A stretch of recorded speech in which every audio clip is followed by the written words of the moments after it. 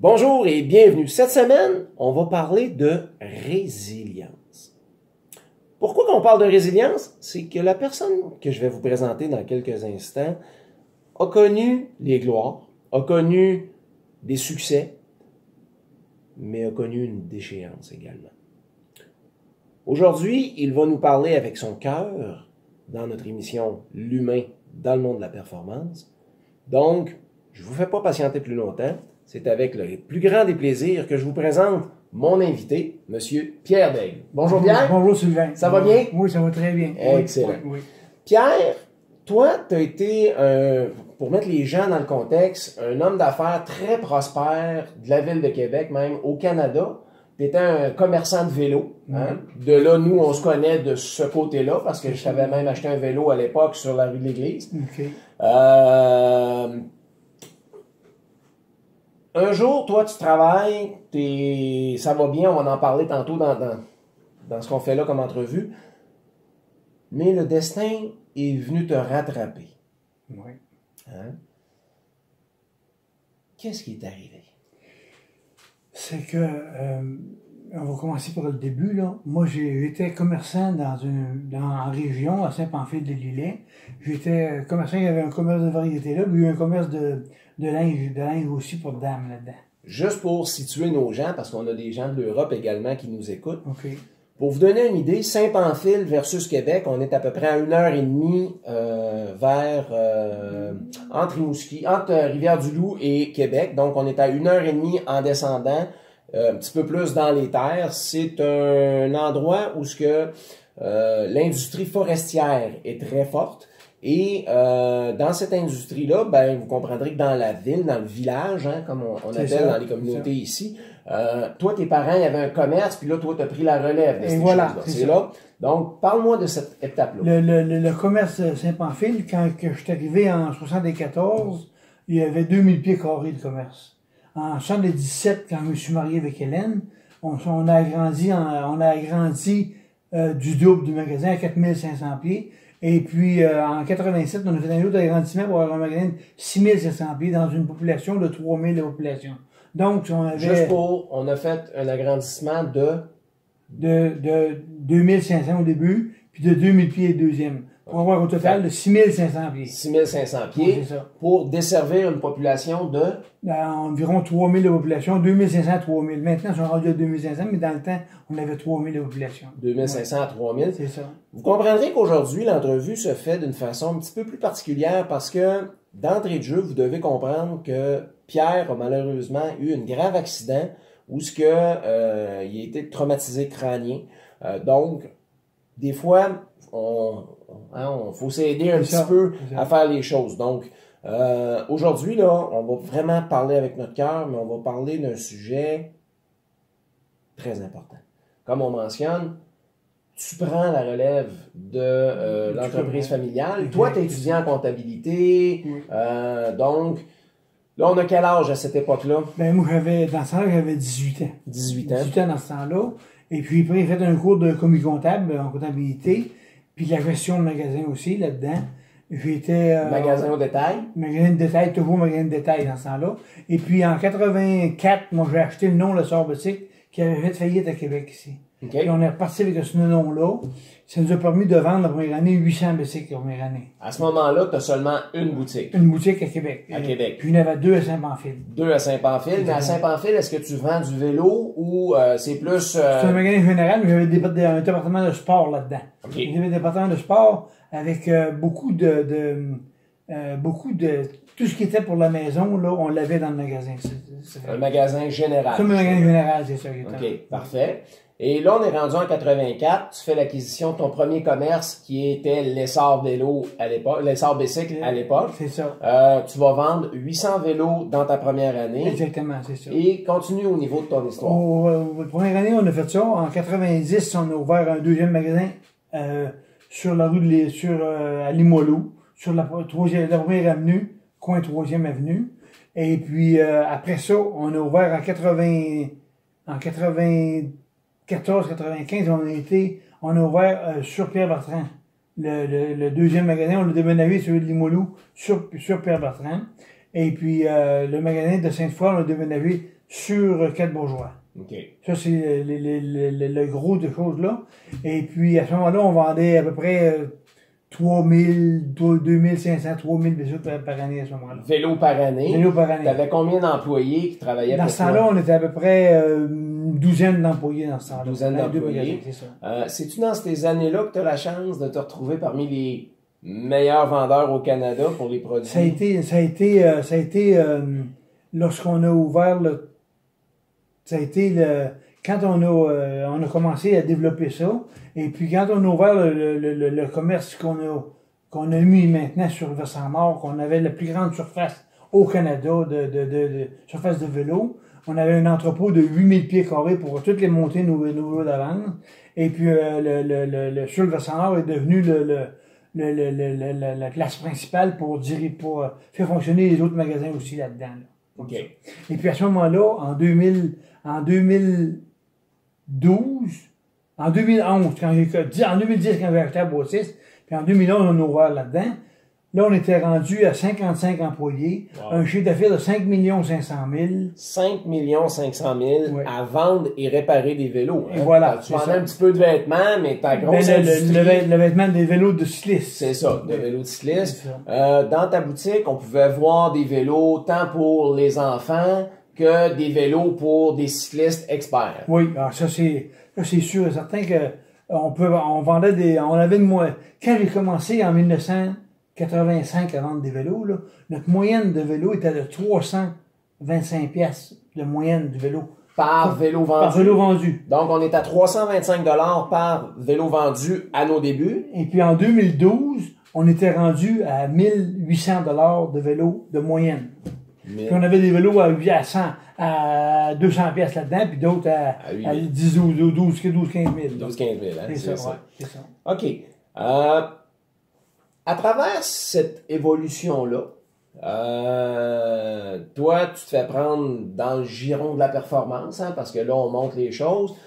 tu es toujours en croissance, pas vraiment en perte en tant qu'entreprise. La façon, tu n'as pas connu vraiment de perte Non, euh, non, non, non, non. dans toutes les Euh, années. Dans toutes les années, le sort c'est qu'au début, les premières années, c'est sûr qu'on arrivait assez, euh, assez, euh, mais euh, en- après ça, là, ça allait, on n'avait pas de problème financier du tout là-dedans, là, aucun, aucun. Là. Est-ce que tu vas conserver les commerces de Saint-Pamphile en plus de tes commerces de vélo ici à Québec? Non. Non? En deux, en, le- vu le- le- la décroissance, vu le- le- l'exode des jeunes en- dans, les, dans les campagnes, dans les régions, euh, j'ai décidé de fermer le magasin Saint-Pamphile. OK? Puis en 2003, j'ai déménagé à Québec. Je me suis acheté une maison au Lac-Beauport. Et puis, on est déménagé à Québec. C'est là que le magasin a progressé énormément. Parce qu'on était installé sur quatre bourgeois à ce moment-là. Et puis, en 2000, en 2002, 2011, quand on a ouvert le magasin sur Versant Nord, c'est là, là, c'était le, en réalité, tout le monde a des rêves dans la vie et moi, j'avais réalisé mon rêve. Tout le monde a des rêves dans la vie. Ouais. Lui, il venait de réaliser son rêve. Je l'avais, je l'ai réalisé. Tu l'as réalisé. C'est ça. Au niveau de la, du couple, comment ça, ça se passe de ce côté-là? Euh, Est-ce que ta conjointe travaille avec toi? Est-ce que... euh, À Saint-Pamphile, Hélène a travaillé avec moi dans le magasin de, de, de magasin général qu'on avait. Elle a travaillé pendant 25 ans avec moi. Wow! OK? Quand on est déménagé à Québec, elle, le, le magasin de détail, elle voulait plus rien savoir de ça. Donc, elle a travaillé dans une garderie. Maintenant, elle est rendue cuisinière dans une garderie. OK? Et puis, elle a toujours, elle m'a toujours supporté de A à Z tout le temps mes décisions. Euh, jamais elle a dit non aux décisions que je prenais. que je prenais. Mais tu la consultais toujours. Elle a toujours consulté Hélène pour dire, euh, qu'est-ce que tu penses de ça? Ça fait combien de temps que vous êtes ensemble? 43 ans qu'on est ensemble. 43 ans de vie Ouais. commune. Ouais. Ça serait quoi le secret ou la recette que tu aurais à donner aux gens qui écoutent notre, euh, notre Pour, formule euh, aujourd'hui? 43 ans de vie commune, là! Oui, euh, 43 ans. Euh, euh, Hélène, c'est une fille qui s'arrangeait, qui s'arrange toute seule, OK? Fait que, moi, Indépendante. elle était indépendante, et puis moi, je travaillais à 100 heures par semaine. Donc, euh, 100 heures de je travaillais à travail. 100 heures par semaine. 100 heures de travail par semaine. Exactement. Retenez bien ça, parce que tout à l'heure, on va aller dans une histoire un petit peu plus quirky. Mais C'est ça. Puis euh, ce, que, ce que je veux dire là-dedans, c'est que je travaillais 100 heures par semaine, mais à tous les matins, je faisais mon heure de vélo avant de partir pour travailler le matin. Je me levais à 6 heures du matin, puis à 7 heures, Je m'arrivais pour déjeuner avec Hélène. On partait pour travailler à 7h30. Puis euh, on, on, Une petite routine, de- une petite routine de petite couple. routine- une petite routine de couple qu'on avait. Puis les fins de semaine, on se rejoignait beaucoup euh, à ce moment-là. Parce que l'hiver, dans ce temps-là, l'hiver, le magasin, on, le, on ouvrait juste le- l'après-midi. On n'ouvrait pas le matin. À cause justement de l'hiver, tout euh, Puis puis- euh, dans ce temps-là, il n'y avait pas de fat bike. mais dans, dans, si j'aurais eu le fat bike dans ce temps-là, on aurait resté ouvert tout le temps, autres, tout. Là. Pour ceux qui écoutent, qui sont en Europe, le fat bike, c'est un vélo qui est apparu avec des pneus très larges pour, depuis à peu près les cinq dernières années, les commerçants de vélos, justement, ont l'opportunité de faire virer la business 12 mois par an. Et voilà, avec ces réseaux-là. On va aller du côté de la famille. T'as combien d'enfants? Deux enfants, une Deux. fille puis un gars. Une fille et un gars, qui aujourd'hui ont quel âge? Euh, ma fille a 38 ans, puis mon gars va avoir, il a eu 36 ans le 15 février. OK. Puis comment ça se passe, la relation euh, papa qui est entrepreneur, qui est techniquement absent, parce que 100 heures de travail, Ouais. t'es pas présent, Ben, mais... c'est, c'est au point de vue familial, c'est toute Hélène qui, qui gérait pas mal euh, la maison, euh, la maison. Et puis euh, mais Marie-Pierre, elle, ma fille, euh, c'est un artiste, Marie-Pierre. Elle, joue du violon, elle, elle fait le euh, compositeur-interprète aussi là-dedans. Et puis euh, elle joue du violon, puis elle me dit, quand, quand on avait le magasin Saint-Pamphile, elle me dit, Marie-Pierre, elle me dit, si tu gardes ça pour moi, j'en veux pas de magasin. OK? C'était clair pour elle. Et puis, mon, gars, Luc, lui, il a travaillé, euh, il a, il a pas été à l'école longtemps. Puis, euh, il a travaillé avec moi. Il travaillait avec moi quand euh, j'ai fait mon accident. Et puis, lui, il a, il a- il a pas accepté ça du tout. Là. Ouais, ça, on va y revenir dans quelques instants parce que, effectivement, euh, je me rappelle cette période-là. Puis, euh, ça nous amène à parler justement du travail, Ouais. hein, parce qu'on on parle aujourd'hui couple, famille, travail. On va parler de coordination puis de synchronisation de différentes choses. Un entrepreneur comme toi, un homme d'affaires aguerri, euh, qui a étudié la comptabilité, euh, qui travaille 100 heures par semaine, euh, on en a déjà parlé, toi puis moi, par le passé. Le dosage là-dedans, ça faisait quoi? Le dosage là-dedans, c'est le, le gros problème que j'avais au point de vue qu'entrepreneur, c'est que je ne déléguais pas. Le gros problème Le que gros tu problème que avais, j'avais, c'est que la, dé- la- délégation n'était pas mon fort là-dedans. Donc, dans ton travail, tu as trois, trois commerces de détail dans la grande région de Québec Oui, et tu délègues rien. presque rien. OK? Les, j'avais mes- j'avais mes- les mécaniciens étaient des mécaniciens, les, euh, les vendeurs étaient des vendeurs. Euh, moi, je m'occupais de la gestion au complet, plus vendeur, plus le, la, Quand la- tu que tu t'occupais de la gestion au complet, c'était Des- toi qui s'occupais des achats, c'est toi qui s'occupais, ju- juste pour nous situer un petit peu, parce que les Non, gens qui moi, écoutent notre chaîne, je faisais, moi, je faisais des budgets d'achat. des budgets. Je disais des budgets d'achat, puis je disais au gars, là, vous achetez cette place-là pour tant de montant d'argent. OK? Fait qu'il y avait une certaine latitude. Oui, il y avait une latitude. Avait- oui, oui, oui, il y avait une latitude, il y avait une latitude. Je dis au gars, euh, tu as un budget de temps pour dépenser là, tu as un budget de temps pour dépenser là. Puis euh, moi, quand euh, dans ce temps-là, on faisait beaucoup de, de ils appellent ça des bookings, des, des, euh, Ouais, ouais, des, ça. des, Des, des- des- des achats pré-saison. pré-saison, de même. Puis là, je lui disais tout le temps, on a vendu pour 200 000 pièces à cette compagnie-là, tu l'achètes pour 100 000. On va répéter pour les autres 100 000 après. C'est le même que que... tu le- toujours de 50%. le chiffre 50% de chiffre d'affaires tout le temps. Et puis, je m'occupais beaucoup de. Quand que, mettons que j'avais des, euh, un deal à acheter de, de, de, liquidation de stock, là.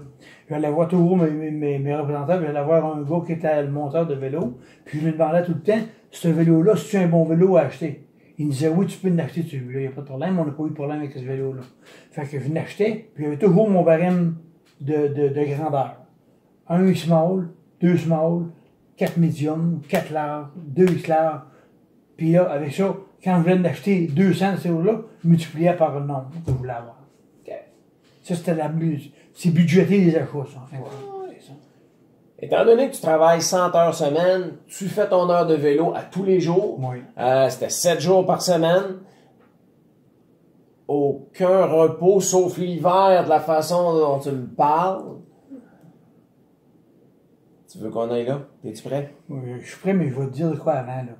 Quand tu as un magasin de variété générale comme on avait à Saint-Pamphile, là, euh, administrer un magasin comme ça, euh, qu'on n'avait pas des gros, des grosses volumes, des gros volumes, c'est plus compliqué qu'administrer une grosse affaire comme j'avais à faire. OK? Oui. OK? Fait que pour toi, c'était pas compliqué. Fait que pour toi, le surplus de travail, tu le sentais pas puis tu le voyais pas. C'était pas important pour moi. Moi, j'étais un passionné de mon travail. C'est, la passion, là, c'est le, le- c'est le secret de tout, ça. Mais la passion fait tout perdre. Et voilà, c'est ça. Puis je le mentionne comme ça parce que je suis un cycliste pour ceux qui suivent ma chaîne. La peur de tous les cyclistes, c'est de se faire frapper par une voiture. On est quel jour? On est mardi aujourd'hui. Mais lors de cet événement-là, quelle journée on est? Le, le- un dimanche matin. Un dimanche le 2, matin, Le 2 septembre 2012. le 2 septembre 2012. Un dimanche matin. Un, un- un- un dimanche matin qu'on était une fin de semaine de trois jours, la fête du travail.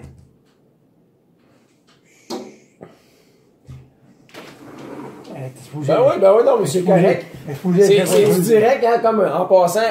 Pierre nous recevait chez lui directement et sa conjointe Hélène vient d'arriver. Bonjour Hélène. Puis elle repart dans 30 secondes. Tu repars dans 30 secondes. Bon, J'ai rendez-vous chaque fois. ben oui, ben oui. Enchantée de te connaître. Ben oui, enchanté, bonjour de te revoir. Et oui, je viens juste de me changer parce que j'ai fait cuire euh, du poisson pour 60 personnes. Puis euh, on s'entend que elle pue la madame. C'est ça, je viens juste de me changer. Puis je m'en retourne suite pour rendez-vous à 2 heures. Donc, on est ce fameux dimanche matin-là. Oui. Il est 9 h du matin. Qu'est-ce qui se produit? C'est que euh, euh, je m'en allais sur le boulevard Ramel pour me rejoindre à la boutique que j'ai en or qu'on avait là.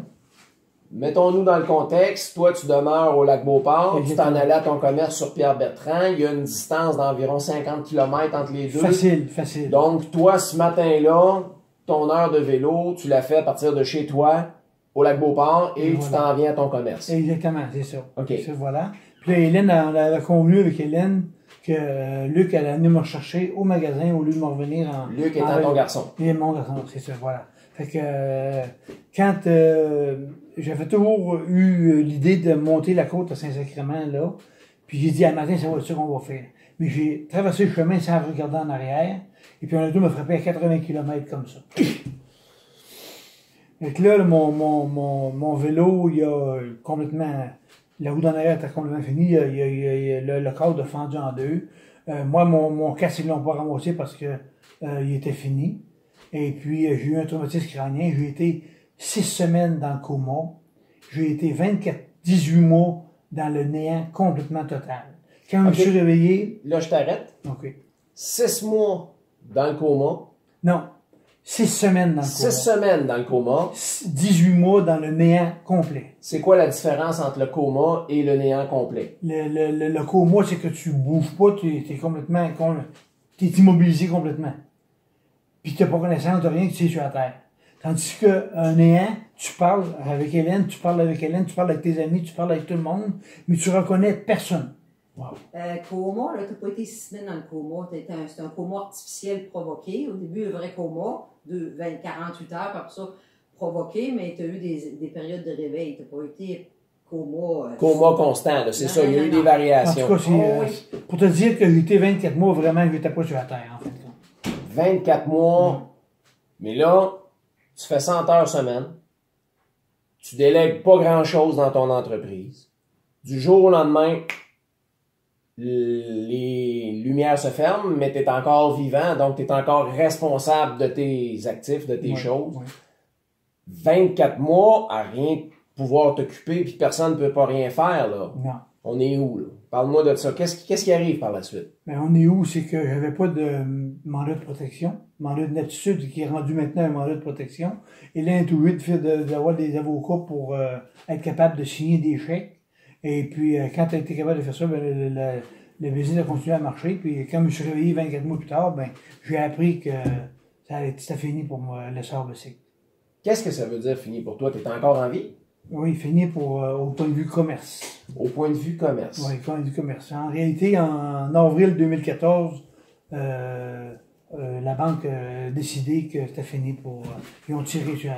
Parce que tu n'étais plus présent, parce que la compagnie. euh, Euh, non, il y, avait, il y avait vraiment. euh, il y a eu des lacunes au point de vue des achats, puis il y a eu des lacunes au point de vue du, euh, euh, des marges brutes que les mares ont fondu, parce qu'en 2013, le commerce a perdu un million de chiffre d'affaires. Première fois à vie, là. Oui.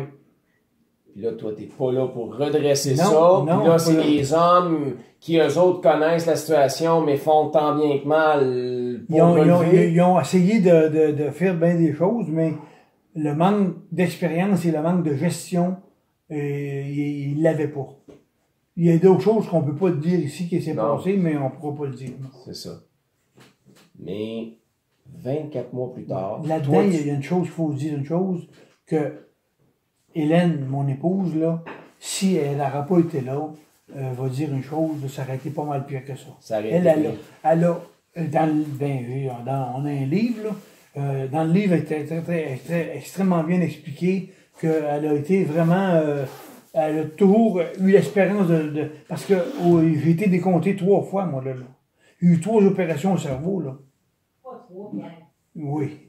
Pierre, pas trop t'exagères, là. Tu as eu plusieurs opérations au cerveau, Deux. deux opérations, et là, Ben, une, Toi- une interne, j'ai fait des revers mal de tête. Une externe, puis on a eu une la dernière, elle, elle était vraiment profitable, elle a J'ai eu réussi. Deux internes au cerveau, c'est c'est des- c'est pour le liquide céphalorachidien. Lui, ça s'évacue. Ça s'évacue plus tout seul, ouais. ouais, c'est ça, c'est ça. Suite à l'accident, suite à l'impact, C'est ça, exactement. Je vais être obligée de vous quitter. Il n'y a pas de problème. Bonjour, ça, ça a été. Ben, merci de ton passage rapide. Ben là, désolé, je vais, je vais vous remettre. Euh, il fait un beau soleil aujourd'hui. Hein. J'ai-tu ma clé? Oui. Bonne fin de journée, bye bye. Bye. C'est pas trop de menterie, Pierre. Bon. Faut t'en couper un bout, là. On se remet là-dedans. Euh, C'est un choc, là. Là, toi, tu reviens 24 mois plus tard. Ouais. Techniquement, c'est plus rien. Oui, non, non les, les séquelles d'un traumatisme crânien sont euh, les pires séquelles qu'on a, c'est euh, la on est très on se fatigue très vite. On, on, on perd, on, on a la mémoire courte et vraiment on oublie souvent. On oublie beaucoup de choses. Et puis euh, l'équilibre est, est, est très ordinaire. Sauf sur mon vélo. On va y aller dans quelques instants, mais toi, tu te réveilles, ça fait 24 mois que tu n'es pas là. Ouais. On t'apprend que ton commerce, c'est fini. Euh, toi, tu étais assuré au niveau de la vie, tu étais assuré, euh, euh, mais la seule chose que tu n'avais pas comme assurance, Invalidité. une assurance. invalidité puis une assurance salaire. Donc, au point de si admettons que j'aurais décédé, OK? Hélène mes deux enfants, ils avaient de l'argent pour finir le jour facilement, OK? Et, mais là, en n'ayant pas balancé mes assurances comme il faut, si j'aurais, euh, au lieu de mettre tout ça sur l'assurance vie, balancer pour une invalidité puis assurance salaire, puis en plus, c'est que j'avais rencontré un, un de mes amis qui pour euh, donner l'assurance salaire, puis euh, j'avais été trop occupé dans ce temps-là, puis j'ai dit, ça viendra au mois de novembre, mais j'ai fait le marketing au mois de septembre. Ouais. OK. J'étais, j'étais, en, j'étais en processus de- d'avoir une assurance salaire. On en a déjà parlé par le passé, toi puis moi. Je sais pas si tu t'en rappelles. Qu'est-ce qui avait causé cet accident-là? Au niveau de la fatigue, hein? La fatigue. La fatigue, euh, c'était... Quand, euh, quand on a euh, réparé la bâtisse pour faire un magasin avec, on a travaillé, euh, on a travaillé quasiment jour et nuit là-dedans pour euh, être capable de revenir au, euh, pour être ouvrir le, le 1er novembre 2000, 2000, 2000, 2000, euh, 2011. 2011. 2011 pour ouvrir 2011.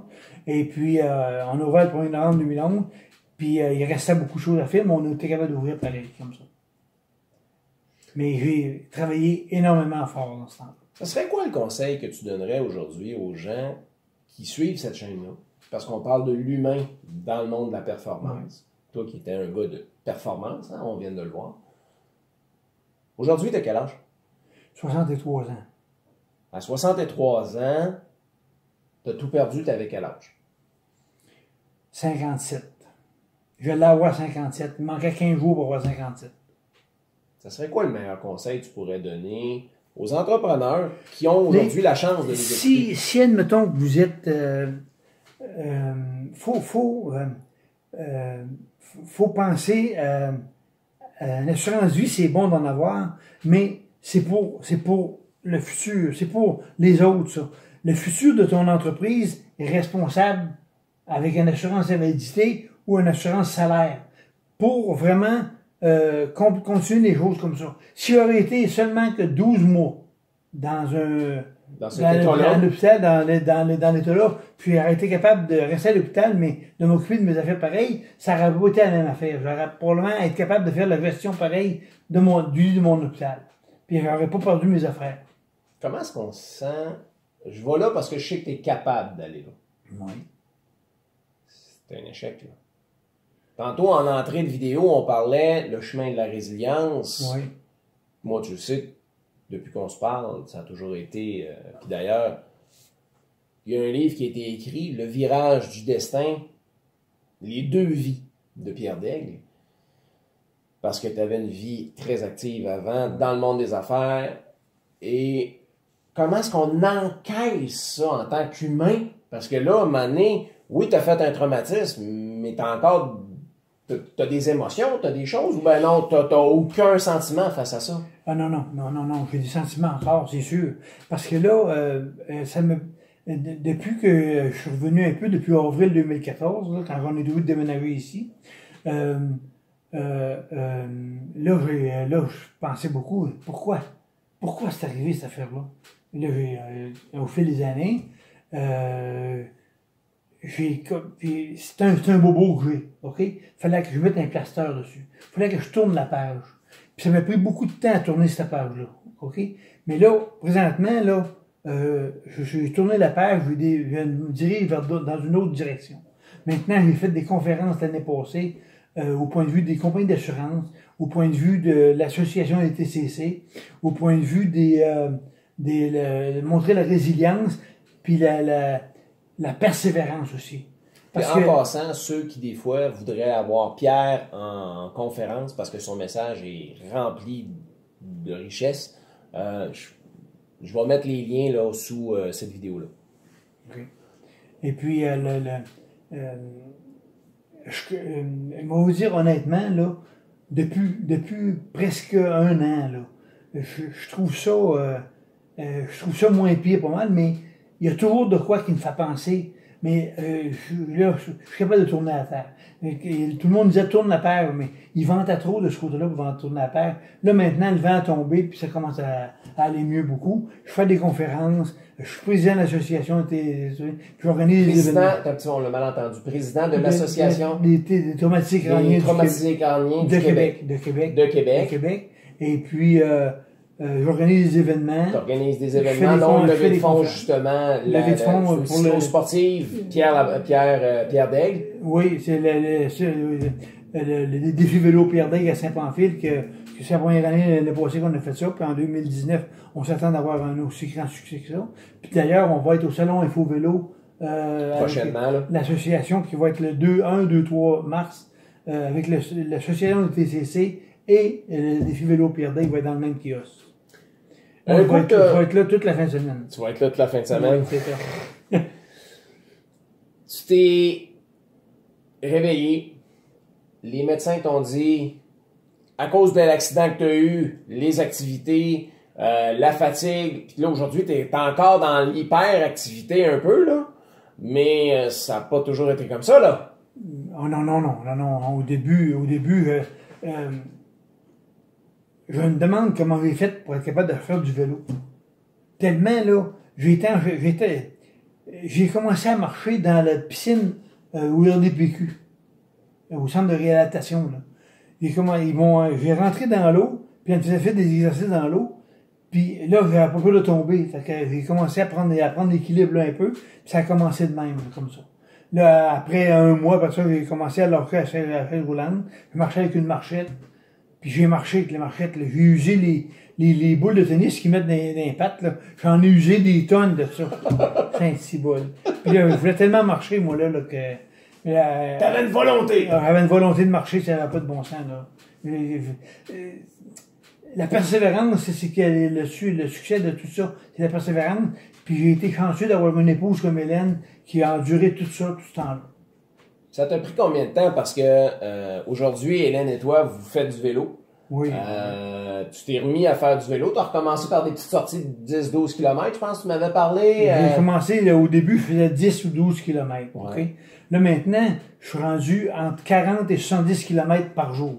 Quand il fait beau. à 70 Puis, euh, km. oui, puis euh, depuis 2014, là, j'ai 12 000 kilomètres de fait. Et puis, je fais, l'année passée, j'ai fait 4600 kilomètres de vélo. Wow. Puis l'année, en canicule, l'année passée, là, je, fais, je me levais à 6 heures, je faisais jusqu'à 9h30, puis je revenais à la maison. Mais toi, les médecins t'avaient dit que plus jamais, là. Qu'est-ce qui s'est passé, là? Faut, Ben, faut comprendre qu'à quelque part, c'est pas juste un petit accident que t'as eu, là. Toi, le diagnostic, tu fais plus rien, là. Et voilà. OK. Puis là, encore aujourd'hui, t'es dans l'hyperactivité, là. On a, euh, ben... euh, Va falloir doser ça, là. Ouais, c'est Ah! ça. On va doser ça, mais je suis, quand, quand j'entreprends de quoi, faut que j'aille toujours au bout. Toujours, toujours. Tant que j'ai pas réussi à faire ce que je veux faire, euh, je le fais. Malgré l'accident que t'as Malgré eu, l'accident que j'ai eu, mais par contre, je sais comment doser maintenant. comment tu doses ça? Je dose ça, c'est que là, ben, premièrement, en vélo, je t'ai dit que plus je dépasse euh, 70, 75 km, plus je dépasse ça. Parce que 100 km et plus, je suis plus capable, parce que je m'en restais pendant 2-3 jours après. Et puis, euh, euh, au point de vue du, au point de vue des conférences, là, quand que je travaille euh, euh, 5-6 heures sur l'ordinateur, il faut que j'arrête après ça. Là, là je, je recommence mes conférences, puis euh, c'est ça. Je fais toutes mes conférences sur un PowerPoint aussi, pour avoir peur, pour, pour, pas manquer rien de ce que je veux parler. J'ai été, euh, j'ai été euh, président d'honneur pour le Salon Info Vélo euh, le, en deux ans. J'ai été président d'honneur au, au tournée, tournée des vainqueurs de Montmagny aussi. J'ai été porte-parole de tournée, de, tournée des, euh, la tournée des euh, euh, défis vélo en, euh, euh, André, Gauthier de la Pocatière aussi. Tout ça, à, toutes- à toutes les fois que j'ai fait des, des, des choses, on ramassait beaucoup, on ramassait de l'argent pour les, les, les, les fondations ou les choses comme ça. Qu'est-ce qui t'anime tant que ça, Pierre? Toi qui as monté si haut, descendu si bas, hein, le chemin de la résilience, t'acceptes, puis t'en parles aujourd'hui avec grande ouverture. Aujourd'hui, oui, t'as le- t'as- on le voit, on l'entend, le désir de continuer. Oui. T'as pas peur de rien? Euh, j'ai eu peur. le- la seule fois de ma vie que j'ai eu peur, c'est quand je me suis réveillé. Wow! Oui. Euh, moi, j'avais des petits bouts là, que j'avais connaissance, là, puis le mal de tête était vraiment énorme, là, ça n'avait pas de bon sens, cette affaire-là. Parce qu'il s'est manifesté euh, quand j'ai été opéré la, la première fois, là, qu'ils ont dû de l'enlever, cette affaire-là. OK. Parce que j'ai un, j'ai un drain qui part du cerveau, qui va jusque la, la, lurette, là, euh, qui enlève le T'as ça à liquide- vie, là. à vie, euh, qui enlève le liquide céphalorachidien de mon cerveau, Qui enlève le liquide céphalo-rachidien. rachidien de mon cerveau, qui, euh, qui, a, qui a, parce que c'est ce liquide-là qui, euh, quand a un, accident à la tête, là, la personne euh, s'est contracté, le cerveau se contracte, donc il veut plus, il il, il appuie plus le, le cerveau. Donc, avec ce saut-là, le, le- le liquide se- s'en va tout seul, comme toi, là, il se fait automatiquement cette affaire-là. Fait que un, un gars comme moi, là, je n'aurais pas ça, mais je serais encore en chaise roulante, puis euh, je te connaîtrais pas non. Puis qu'est-ce. Moi, ce qui, ce qui me questionne le plus, hein, parce que souvent on dit que c'est après un échec qu'on apprend des choses. Encore aujourd'hui, la volonté que tu as, c'est assez incroyable, là, parce que combien de monde qu'on connaît qui ont des petites des petites choses, puis j'attaque personne, là. C'est juste. À quelque part, tu es au-dessus de tout, là. Dans le sens que c'est inhumain, ce que tu fais, là. Ben, c'est naturel pour moi, ça. Tu sais, euh, euh, je fais pas ce que, ce que j'aimais le plus. Moi, ce que j'aimais le plus, c'est à faire de la gestion, vendre des bicycles, puis rencontrer des clients. C'est ça que j'aimais le plus, moi. Mais là, maintenant, j'ai plus cette chance-là. Donc, je fais d'autres choses. Je suis président de l'association, et puis euh, je participe aux activités de ça. Je joue au tous les jeudis matin. Et puis, euh, j'ai eu, euh, en passant, j'ai eu mon premier 200. 200 euh, OK. OK, là, euh, jeudi passé. Ça, ça veut dire un abat où ce qu'on gagne quasiment, euh, quasiment à full, là. J'ai fait 5 abats de suite. Wow! Wow! Yeah! C'est ça. Je suis bien, bien fier de ça. Les grosses ou les petites? Les grosses. Les grosses en plus? Ouais, les grosses. La grosse de 12 livres, mais je suis acheté une boule avec mon sac puis des souliers, puis euh, on s'en va tous les jeudis, on va faire ça. Des, quelques fois, on va à Sainte-Marie-de-Beauce aussi avec... euh, j'ai, maintenant, j'ai des amis, par exemple, qui sont des traumatisés crâniens comme moi, qui, euh, Sylvain Saint-Hilaire puis Patrick Gauthier, je voyais avec eux autres pour aller au quai, puis ils m'emmènent des fois euh, à Sainte-Marie-de-Beauce jouer au quai ou là-bas quand on va là-bas. Puis on voit des parties de sucre, puis on voit... Pendant que tu parles des voyages, étant donné ton état, toi, t'as plus de permis de conduire, là. On t'a retiré ça, Non, ce droit-là, je pense. hein. Le, le permis de conduire, j'ai fait deux essais pour avoir mon permis de conduire, mais euh, le- quand on conduit, le cerveau demande, ça demande beaucoup de, de Concentration. concentration, puis mon cerveau analyse pas assez vite les situations. Donc, euh, après, le, j'ai même pas, le- le- le- il me restait deux cours pratiques à faire, puis on dit ça sert à rien, tu, on, ben, on, on pourra pas te donner tes licences. Fait que euh, là, je, je, j'étais avec tout le temps avec les autres, puis j'ai eu des bons amis qui, me- qui, qui, me- qui, me- qui, me pre- qui, me- qui, me- qui m'amènent qui me transporte euh, où, où, où je veux aller. Justement, hier, on était euh, pour un rendez-vous euh, à l'hôpital euh, Laval. Et puis, c'est euh, mon ami Sylvain Saint-Hilaire qui est venu m'amener là-bas. On a, euh, on a passé quasiment tout de suite, mais on a eu une prise de sang. On était deux heures à l'hôpital. Il m'a attendu tout ce temps-là. Puis c'est euh, grâce à eux autres que j'ai une vie qui, euh, qui, a, qui a du bon sens. Qui reprend du Qui sens. reprend du sens, c'est ça. Quel serait ton dernier mot en terminant pour les gens? Parce que ce qu'il faut que tu comprennes, c'est qu'on a des gens au Canada, on a des gens en Europe également, dans la francophonie, qui suivent cette chaîne vidéo-là. Que- Qu'est-ce que toi, Pierre Deng, tu aurais envie de passer comme message? Si, si vous avez un rêve, faites-le. Parce que c'est plus. Vous, euh, on a plus de chances de dire on aurait donc dû, puis de, le regretter, que de, de l'accomplir. Organisez-vous pour le réaliser ce rêve-là que vous faites. Si vous voulez voyager, euh, organisez-vous pour voyager. Si vous voulez être en affaires, puis euh, grossir votre affaire, faites-le. Ton rêve aujourd'hui? Mon rêve aujourd'hui, c'est d'être capable de vivre le plus longtemps possible avec Hélène, mes deux enfants, et puis euh, mon petit-fils Maxime qui vient de, qui a six ans maintenant, et puis euh, euh, avoir du plaisir à, à- à rencontrer du monde tout le temps, c'est ça. Si vous avez un rêve. Faites-le. J'aurais donc dû, faut pas que ça existe. T'es incroyable! Ah, t'es incroyable! Je t'aime! Je t'aime!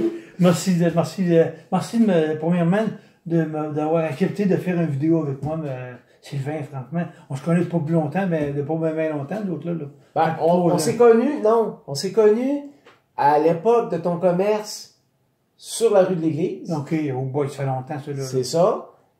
Par contre, à cause des différentes circonstances, on s'est perdu de vue. Mais effectivement, on, on s'est revu après ton accident depuis Ouais. trois ans. C'est ça. Mais euh, non, on se connaissait un petit... Je t'a- je t'avais même acheté un vélo Ben à oui, l'époque. ben oui, ben oui. Mais euh, ça, c'est pas grave parce que, écoute, c'est tellement inspirant le message que j'ai, euh, j'ai beaucoup de j'ai beaucoup de projets maintenant qui s'en viennent là, euh, qui sont vraiment embryonnaires par exemple là, parce que c'est vraiment au début. Mais je veux faire du la, la- comment comment ajuster un casque de vélo sur une tête de, quel- de la tête de quelqu'un, comment positionner quelqu'un sur un vélo pour qu'il y ait le maximum de confort sur son vélo? Je veux, je veux faire ça sur les pistes cyclables, puis j'attends les j'attends j'attends les euh, des j'ai envoyé justement ma lettre. Parce que là euh, maintenant euh, la ville de Québec se décharge complètement. Ça me prend un club de vélo pour faire ça. Parce que les autres ils veulent pas être responsables de ces affaires-là fait que euh, c'est c'est le même que On c'est des, pourra, c'est des euh, projets si on pourra Hors faire hors alors- d'onde, on pourra regarder, voir comment est-ce que je peux t'aider dans ce c'est projet. ça, mais ça, ce serait de quoi que, que, que, que- que je voudrais faire cet été, mais probablement que ça va prendre à l'autre été d'avant, d'après. Un homme rempli de projets, Mais oui, c'est ça. qui, qui poursuit ses rêves. Donc, Pierre, Merci Sylvain. C'est moi qui te remercie Ben, de m'avoir accueilli chez toi, dans ta maison, de nous avoir ouvert ton cœur. Être comment- heureux. Être heureux, c'est ça l'important. Être heureux. Mm. Parce que faut, faut je dise une chose, c'est que quand que j'ai euh, euh, quand que j'ai euh, me suis revenu au mois d'avril 2014, là, quand je suis revenu, là, les, les mon beau-frère Paul, qui est mon ami en Impetus, il, m'a demandé, il dit, Es-tu heureux, Pierre? Je lui ai dit non, je suis pas heureux parce que je fais pas ce que j'ai envie de faire. Maintenant, je suis heureux parce que je veux vraiment être, euh, accomplir des choses qui, qui donnent la chance à quelqu'un d'aider. Comme l'association des TCC, euh, je veux, euh, euh, je veux aider les personnes à faire qu'est-ce qu'ils veulent faire en ramassant des, les- puis la visibilité parce que le traumatisme crânien est un c'est un, une, une affaire que euh, le monde ne connaisse pas beaucoup les séquelles de ça. Merci beaucoup. Bonjour.